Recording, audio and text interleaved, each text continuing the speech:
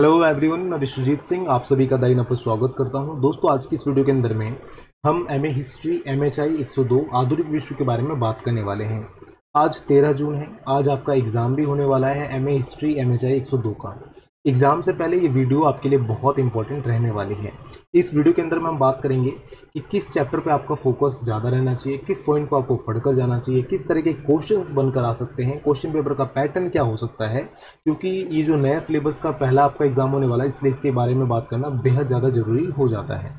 साथ ही साथ मेरी तरफ़ से आप सभी स्टूडेंट्स के लिए क्या सजेशन हो सकता है, इसके बारे में भी डिस्कस करेंगे। ये जो आप अभी अपने स्क्रीन पर बुक देख रहे हो, ये आपकी इग्नू की जो बुक है एम एच आई एक सौ दो, इसकी सॉफ्ट कॉपी है। डायरेक्ट आपको ई ज्ञान को उसकी जो साइड है इग्नू की, वहाँ से मिल जाएगी फ्री ऑफ़ कॉस्ट आप वहाँ से डाउनलोड कर सकते हो। ये आपका बुक का फ्रंट पेज आ जाता है। सबसे पहले अगर मैं नीचे इसको ड्रैग करूँ तो यहाँ पे पेज नंबर सिक्स पे आपका जो विषय सूची है कि कितने लेसन हैं, उसका डिटेल आपको यहाँ पे मिल जाता है। इस पूरे बुक के अंदर में टोटल 26 लेसन आपको पढ़ने के लिए मिलते हैं। अब यहाँ पे 26 लेसन है तो इसका मतलब है नहीं कि हर एक लेसन से एक एक क्वेश्चन बनकर आएगा और ये पॉसिबल भी नहीं है। इग्नू के अंदर में क्वेश्चन पेपर का पैटर्न होता कैसा है? सबसे पहले अगर मैं बात करूँ तो इग्नू के अंदर में जो क्वेश्चन पेपर का पैटर्न होता है, वो नॉर्मली एक क्वेश्चन जो बनकर आएगा आपका, उसमें दस क्वेश्चन एक क्वेश्चन पेपर के अंदर में टोटल दस क्वेश्चन आते हैं। पूरा क्वेश्चन पेपर दो पार्ट में बटा होता है। पार्ट ए और पार्ट बी पार्ट का और ख करके ऐसा करके दो पार्ट में बटा होता है। पार्ट ए और पार्ट बी करके दो पार्ट में पूरा क्वेश्चन पेपर बटा होता है। हर एक पार्ट में पाँच पाँच क्वेश्चन होते हैं, ठीक है?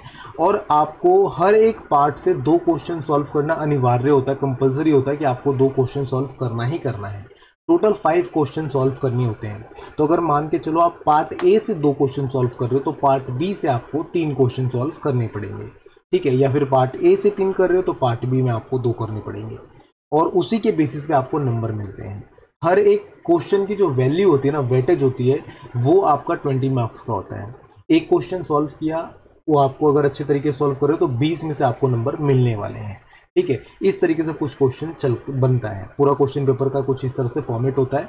और इसी क्वेश्चन पेपर के अंदर में कुछ टिप्पणी बेस्ड क्वेश्चन भी पूछे जाते हैं। टिप्पणी बेस्ड क्वेश्चन क्या होते हैं कि जिसके अंदर में आपको पैरा राइटिंग करनी होती है टॉपिक दे दिया, उसके ऊपर में आपको पूरा डिटेल में लिखना होता है। और उसके अंदर में जो एक पैरा राइटिंग का जो क्वेश्चन होता है, वो दस नंबर की वैल्यू का क्वेश्चन होता है। अगर आप उसको सही से लिखते हो तो आपको दस में से नंबर मिलने वाले होते हैं। ठीक है, इस तरह से कुछ नॉर्मल फिगर रहता है, सौ नंबर का पेपर आता है। और ये आपका एम ए हिस्ट्री जो सेमेस्टर मोड के स्टूडेंट हैं उनका, ये सेकेंड एग्ज़ाम होने वाला है। एम एच आई का, इसके कारण जो थोड़ा सा डिटेल में बता रहा हूँ। इस बुक का जितने भी चैप्टर है और हर एक चैप्टर के अंदर में जो भी टॉपिक है, जो भी क्वेश्चंस बनते हैं हर एक चैप्टर के, उसको ऑलरेडी मैं एक वीडियो के अंदर में डिस्कस करवा चुका हूँ। तो अगर अभी तक आपने वीडियो नहीं देखा तो उसको देखिए, जिससे थोड़ा बहुत आपको हेल्प मिल सकता है। उतना टाइम है नहीं बट फिर भी। अब यहाँ पर हम बात करें कि अब लास्ट टाइम ज़्यादा समय बचा नहीं है, दो ढाई घंटे हैं तो दो ढाई घंटे के अंदर हम क्या पढ़ कर जाएँ? किन चीज़ों पर हमें फोकस रह, करना चाहिए? और क्या चीज़ें रहें इस बुक के अंदर में जो आपके लिए यूज़फुल रहेगा? तो सबसे पहले ना आपको बुक को समझने की ज़रूरत है। आपके बुक का नाम है आधुनिक विश्व मॉडर्न वर्ल्ड। इस मॉडर्न वर्ल्ड की बुक के अंदर में जितने भी टॉपिक हैं ऑलमोस्ट आपने टॉपिक एट्थ क्लास में पढ़ा है नाइन्थ क्लास में पढ़ा है टेंथ में भी पढ़ा है इलेवेंथ में भी पढ़ा है और ट्वेल्थ में भी पढ़ा है। उसके बाहर का कोई टॉपिक नहीं है, ठीक है? उसके बाहर का कोई टॉपिक इसके अंदर में ऐड नहीं किया गया, सबसे मेन चीज़। आपको यहाँ पे रिवाइज करने की ज़रूरत रहेगी, वो रहेगा डेट जो डेट है, आपको डेट को थोड़ा सा याद करके चलना पड़ेगा कि किस टाइम पर रीड में क्या चीज़ हुआ, किसका इम्पैक्ट किस तरीके से पड़ रहा है। ठीक है, यहाँ पे अगर हम देखें तो सबसे पहला जो दो टॉपिक आता है ना, आपका ज्ञान, उदय और पुनः जागरण ये इंपॉर्टेंट है। ठीक है, ज्ञान, उदय और पुनः जागरण दोनों में से एक क्वेश्चन बनकर आना ही आना होता है कंपलसरी है, क्योंकि दोनों एक आइडियोलॉजिकल बेस्ड पे क्वेश्चन रहता है। ठीक है, वहीं से मतलब वहाँ से जैसे ज्ञान, उदय की हम बात करते हैं या पुनः जागरण की बात करते हैं तो वहीं से शुरुआत होती है आधुनिक विश्व की। किसी भी चीज़ का नींव रखने से पहले, जब आप कह रहे हो ना कि आम का पेड़ लगाएँगे तो सबसे पहले आम का पेड़ नहीं लगाया जाता है, सबसे पहले गुठली को बोया जाता है ज़मीन में, उसके बाद वो पेड़ बनता है। तो प्रोसेस क्या है पेड़ बनने का? गुठली को बोया, ज़मीन को खोदा, किस तरीके से गुठली बोया गया, उसके में से किस तरह से निकला धीरे धीरे करके बड़ा हुआ। तो वो पूरा प्रोसेस है ना? तो सबसे पहले जो आइडियोलॉजी बनी ना, कि किस तरह से आधुनिक विश्व बन सकता है, वो पुनः जागरण और ज्ञानोदय से ही शुरुआत होता है। ठीक है, अंधकार को किस तरीके से ख़त्म किया गया, अंधकार युग का किस तरह से पतन हुआ, वो यहीं से आपका शुरुआत होता है। पुनः जागरण, विज्ञान का मतलब एक तरह से यहाँ से आगमन था, जहाँ पर विज्ञान को एक्सेप्ट किया गया मनुष्य के द्वारा। तरक्की विकास को एक्सेप्ट किया गया। एक नई संस्कृति सभ्यता के उदय यहाँ पे देखा जाता है। ठीक है ज्ञानोदय के साथ साथ में। तो ये चीज़ें चलती हैं तो इन दोनों चैप्टर को आपको थोड़ा सा रीड आउट करके चलना है स्पेशली ठीक है। उसके बाद अगर आप देखोगे तो फ्रांसीसी क्रांति का रहता है। फ्रांसीसी क्रांति के अंदर में कुछ ज़्यादा खास है नहीं। नॉर्मली आपको किस तरह से स्वतंत्रता की मांग हुई और उसके बाद पूरे विश्व के अंदर में, यूरोप के अंदर में किस तरीके से मांग ज़ोर पकड़ती चली गई, लोकतंत्र की स्थापना कैसे किया गया, जनतांत्रिक व्यवस्था की स्थापना किस प्रकार से हुई, ठीक है। कौन कौन सी मांगे थी, किस तरह से लोगों ने मांग के लिए हथकंडे अपनाए ठीक है, उन सब चीज़ों को आपको यहाँ पे एक्सप्लेन करने की ज़रूरत रहेगी बट इसके अंदर में डेट आते हैं कि फ्रांसीसी क्रांति के अंदर में किस टाइम पीरियड के अंदर में कौन सी एक्टिविटी हुई, किस तरह से क्रांति क्रांति आगे बढ़ाई गई, ठीक है तो ये आपको यहाँ पर थोड़ा सा डेट को रिमाइंड करके चलना है और याद रखना है। राज्य के सिद्धांत के बारे में बात करें तो कुछ खास चैप्टर है नहीं बट नॉर्मली जब आप एक आइडियोलॉजी के ऊपर में वर्क करते हो कि भैया पुनः जागरण हो गया, ज्ञानोदय हो गया, आप विज्ञान की ओर बढ़ रहे हो तो एक राज्य का सिद्धांत भी बनता है कि जिस क्षेत्र में रह रहे हो, उसको लेकर आपके लिए क्या वैल्यू है? ठीक है, किस तरह की चीज़ें हैं, आप उसको क्या चाहते हो? और अलग अलग विचारधारा के अंदर में राज्य का सिद्धांत क्या है, वो मैटर करता है। तो आप अगर राज्य का सिद्धांत सिर्फ़ पढ़कर जाओगे ना तो इसके अंदर में सारा, जितने भी आइडियोलॉजी ना, सारा कवर हो जाता है, चाहे नारीवादी सिद्धांत हो, चाहे मार्क्सवादी सिद्धांत हो, चाहे उदारवादी सिद्धांत हो सब कुछ आप कवर कर लेते हो। तो राज्य के सिद्धांत और थोड़ा सा आइडियोलॉजी जो है ना, उसको पढ़कर चलोगे। मेन क्या है, देखो, आप क्वेश्चन जब भी आप लिखोगे ना तो यहाँ पे बहुत सारे बड़े, जितने भी मतलब मैंने अभी कमेंट देखा ना, पीछे छः सात महीने से क्योंकि मैं वीडियो बना नहीं रहा था तो अभी मैंने जस्ट कमेंट के थ्रू गो थ्रू हुआ हूँ। तो मैंने देखा कि बहुत सारे क्वेश्चन ऐसे पूछे जा रहे थे कमेंट के अंदर में कि सर कितने पेज में आंसर लिखना है, ठीक है? तो यहाँ पे पेज मैटर नहीं करता कि आप कितने पेज में आंसर लिख रहे हो। सबसे मोस्ट इंपॉर्टेंट चीज़ पूरे वीडियो के अंदर में ये रहेगी आपके लिए कि आपको हमेशा वर्ड लिमिट पे फोकस करना है। जब आप अपना क्वेश्चन पेपर लोगे ना तो सबसे पहले और सबसे मेन चीज़ आपके माइंड में हमेशा स्टक रहनी चाहिए, ठीक है, एकदम रुकी हुई नहीं रहनी चाहिए चीज़ें कि आपको वर्ड लिमिट का ध्यान रखना है। अगर आप वर्ड लिमिट क्रॉस करोगे तो नंबर नहीं मिलने वाले नंबर कटेंगे। अगर आप वर्ड लिमिट को फॉलो नहीं करोगे वर्ड लिमिट के अंदर में मतलब पूरा कंप्लीट नहीं कर रहे हो तो भी आपके नंबर कटेंगे, वहाँ पे नंबर प्रॉपर नहीं मिल सकते हैं। और नंबर बहुत बुरी तरह से कटते हैं। ठीक है? इग्नू है तो इसका मतलब ये नहीं कि मज़ाक में आप लेके जा रहे हो। ठीक है, बहुत सारे बच्चे फेल होते हैं, बहुत सारे बच्चों की बैक आती है। तो आपको बी सीरियस होकर सही तरीके से करना है। ठीक है एक्स्ट्रा सीट मिलता नहीं कि आप बहुत ज़्यादा भरकर आ जाओ। जितना सीट सीट मिलता है, आंसर सीट होती है, उतने आपके लिए बहुत इनफ है, उतने में आपके आराम से अस्सी पिचासी नंबर बन सकते हैं। अगर आप अच्छे स्टूडेंट हो तो और करने वाले स्टूडेंट नब्बे निन्यानवे भी कर देते हैं, कोई बड़ी बात नहीं। अब यहाँ पर हम बात करें तो जो वर्ड लिमिट है कितनी? तो 500 वर्ड का लिमिट होता है प्रॉपर। आपको 500 वर्ड के लिए फोकस करना है कि 500 वर्ड के अंदर में ही आपको आपका आंसर कंप्लीट करना है। अब 500 वर्ड पता कैसे चलेगा? तो रफली आप ये कह सकते हो चार से पाँच पेज के अंदर में छः पेज के अंदर में आपका 500 वर्ड कंप्लीट हो जाता है। अब डिपेंड करता है किसकी राइटिंग किस प्रकार से, लिखने का तरीका कितना है, कितना कौन बड़ा लिख रहा है, छोटा लिख रहा है, उस पर भी डिपेंड करता है। कोई बहुत बड़ा बड़ा लिख रहा है तो उसके दस पेज भी लगा है तो भी पाँच सौ वर्ड क्या पता कम ना हो ना हो पाए। तो वो डिपेंड करता है आपके राइटिंग स्किल पे, आपका राइटिंग स्किल किस प्रकार का है, उसके हिसाब से आप उसको कैलकुलेट कर सकते हो। एक एक वर्ड को गिनने की ज़रूरत नहीं रहती। एक लाइन में आपने दस वर्ड लिखा है, पाँच वर्ड लिखा है, सात वर्ड लिखा है तो उसके हिसाब से लाइन को मल्टीप्लाई कर लो कितने लाइन है रफली आपका अंदाज़ा हो जाता है कितना आपने वर्ड लिख कर आएगा ठीक है, इस तरीके से तरीका रहता है। तो वर्ड लिमिट को हमेशा फोकस करना है। वर्ड लिमिट का अगर आपका फोकस टूटता है तो नंबर यहाँ पे कटेंगे। अब देखो, यहाँ पे जो मैंने आपको बताया ना, दो चैप्टर ज्ञानोदय और ये पुनः जागरण वाला जो पूरा टॉपिक ये दोनों ये दोनों टॉपिक इंपॉर्टेंट है। फ्रांसीसी क्रांति के अंदर में आपको डेट को रिमाइंड करके चलना है। राज्य का सिद्धांत, राज्य का उदय किस प्रकार से हुआ, ये थोड़ा सा आपको कॉन्सेप्ट रखना है। इसके अंदर में अलग अलग आइडियोलॉजी के बेसिस क्वेश्चन बनकर आते हैं, वो आपको चलेगा। ठीक है, नौकर सहायकरण के बारे में हमने बात नहीं किया था रात के, रात में, जो रात की वीडियो थी। नौकर सहायकरण है क्या? तो ब्यूरोक्रेसी सिस्टम जो है, बहुत इंपॉर्टेंट टॉपिक रहता है ये भी। किस तरीके से ब्यूरोक्रेसी सिस्टम का उदय हुआ और अलग अलग कंट्री के अंदर में इसका रोल कैसा है? जापान के अंदर में बात करें, इटली के अंदर में बात करें, ब्रिटेन के अंदर में बात करें तो इसका रोल किस प्रकार से है? ये भी एक इंपॉर्टेंट टॉपिक रहता है। ठीक है तो ये इसको भी आपको पढ़ के चलना है फोकस करना है। साथ ही साथ यहाँ पे आता है आपका लोकतांत्रिकरण, ये सब टॉपिक को आप अवॉइड कर सकते हो। ठीक है जन कल्याण जब हम बात करते हैं एक राज्य किस प्रकार से लोगों की भलाई के लिए वर्क करता है, कल्याण के लिए वर्क करता है तो जन, कल्याण के अंदर में आ जाता है। राष्ट्रवाद, ठीक है, राष्ट्र के प्रति जो आपकी भावना है वो राष्ट्रवाद के अंदर में आ जाती है आपकी चीज़ें तो वहाँ पर राष्ट्रवाद से रिलेटेड क्वेश्चन भी बनकर आ सकता है। ठीक है, वो मैंने आपको रात में बता चुका था।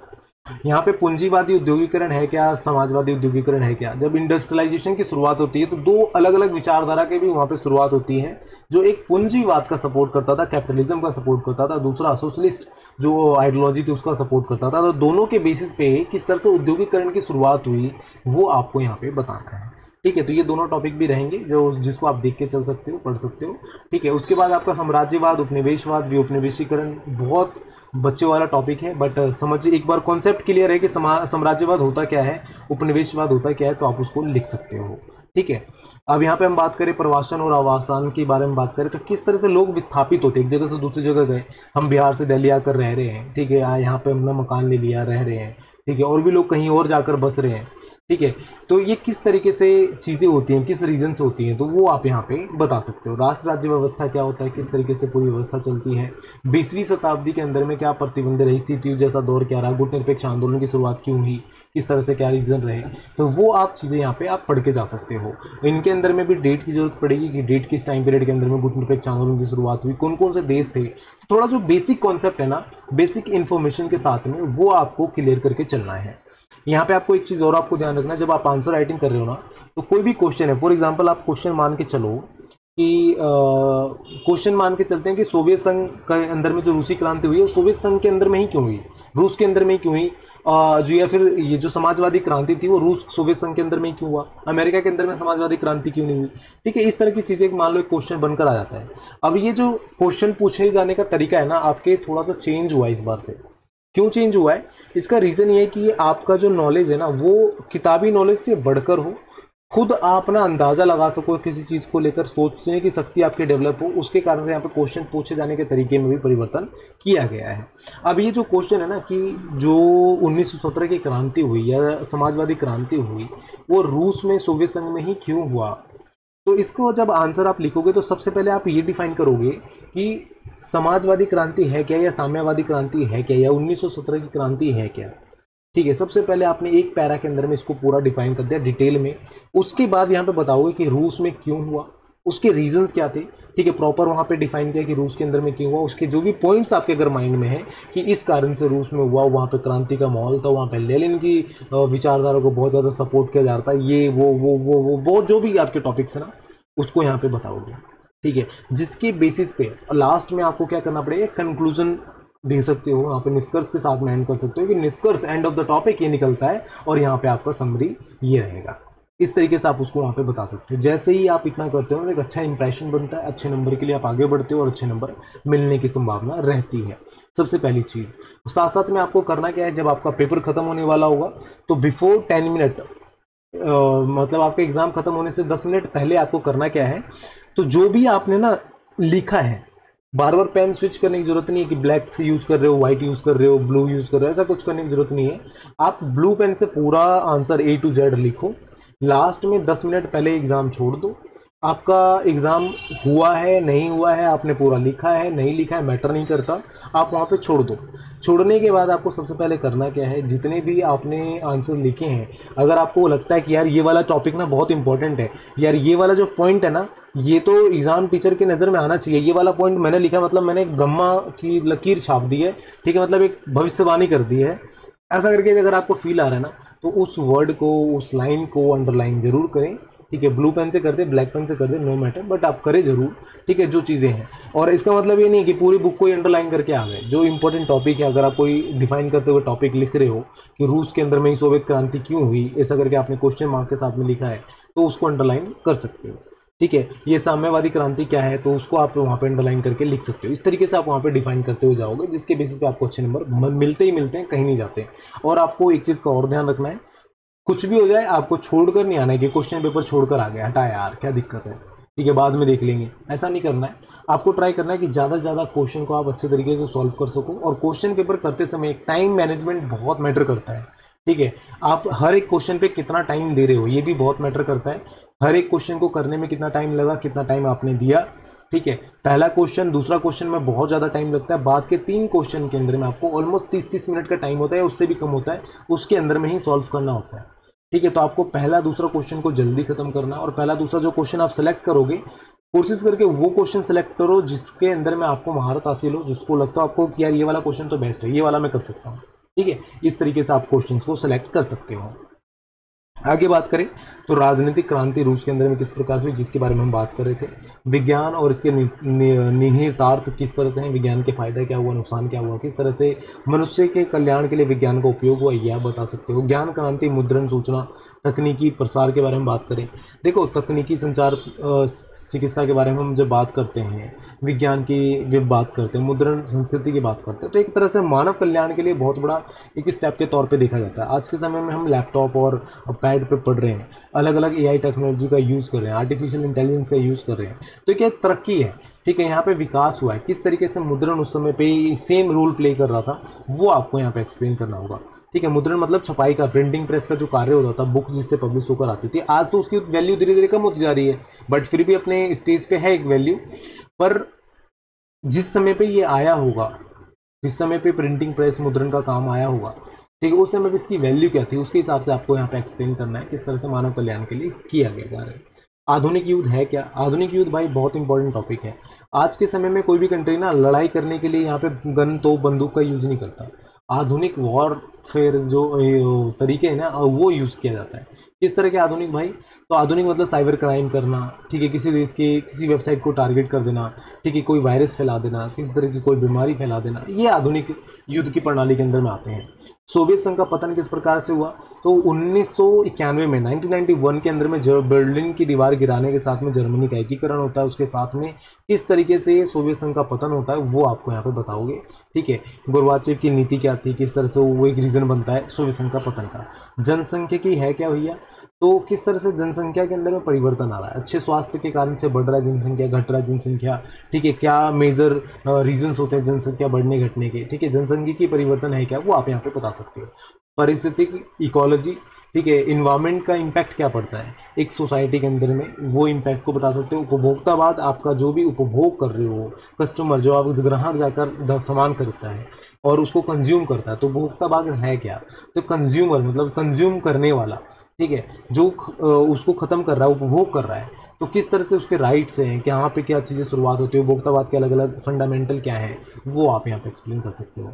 वैश्वीकरण का अर्थव्यवस्था पे क्या इम्पैक्ट पड़ा? पॉजिटिव नेगेटिव दोनों के हिसाब से आप यहाँ पे एक्सप्लेन कर सकते हो। ठीक है, वैश्वीकरण होता क्या है? क्या इसका इम्पैक्ट क्या है? रोल क्या है? वो आप यहाँ पे बता सकते हो। तो ये पूरे ट्वेंटी सिक्स जो चैप्टर है, उसकी समराइज मैंने किया आपको कि किस चैप्टर के अंदर में क्या चीज़ें हैं। ऑलरेडी मैंने इनके टॉपिक जो है हर एक चैप्टर के अंदर में कौन कौन से टॉपिक है, कितने टॉपिक्स हैं, वो मैंने करवा रखा है एक वीडियो के अंदर में। अगर आपने वीडियो नहीं देखा है तो उस वीडियो को ज़रूर देखें। और इस वीडियो का मेरा मेन मोटिव ये था कि आपके साथ में क्वेश्चन पेपर का एक पैटर्न जो होता है, वो डिस्कस करना। और ये आपको पता है कि जैसे ये नए सिलेबस की बुक है सेमेस्टर मोड एमए हिस्ट्री का, जिसके अंदर में आपके क्वेश्चन पूछे जाने का जो तरीका है ना लास्ट ईयर से चेंज हुआ है अपग्रेड हुआ है। जो पहले क्वेश्चन पूछा जाता था ना डायरेक्ट क्वेश्चन कॉलेज वाले बुक से पूछते थे कि ये वाले बुक के अंदर में ये वाला टॉपिक था तो आप इसका आंसर बताओ। अब जो क्वेश्चन का ना मतलब तरीका है ना, वो डाइवर्ट हो चुका है। वो डायरेक्ट एक स्टूडेंट से पूछा जाता है कि आपके अकॉर्डिंग क्या है? रूस में ही सोवियत क्रांति हुई, रूस में ही साम्यवादी क्रांति हुई सॉरी रूस के अंदर में ही अगर साम्यवादी क्रांति हुई तो आपको ऐसा क्यों लगता है कि वहाँ पर ही क्यों हुआ? ठीक है। वैश्वीकरण का इम्पैक्ट किस तरीके से भारत में पड़ रहा है? अगर बुरा पड़ रहा है तो आपके हिसाब से क्या हो सकता है? उसको इम्प्रूव कैसे किया जा सकता है? मतलब कुछ भी। ठीक है? तो वहाँ पे थोड़ा सा क्वेश्चन आपको अपने हिसाब से भी बनाने की कोशिश करना पड़ेगा। एक प्लस पॉइंट भी इस तरह के क्वेश्चन का। अब अपने हिसाब से आंसर को डिज़ाइन कर सकते हो, अपने हिसाब से आंसर को एक्सप्लेन कर सकते हो और ये एक प्लस पॉइंट के तौर पर वर्क करता है। बट ये नहीं है कि आपको जो मर्ज़ी लिख दिए।